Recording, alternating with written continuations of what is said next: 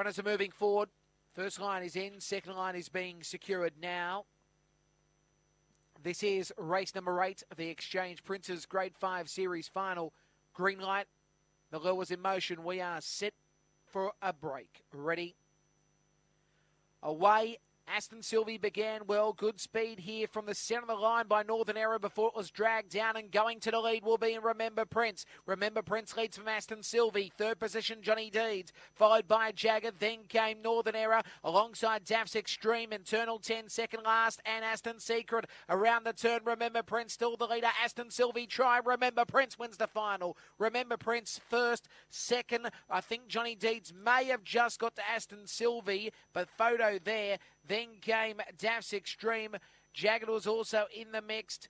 And then in the later stages, Aston Secret with Eternal 10 and Northern Era.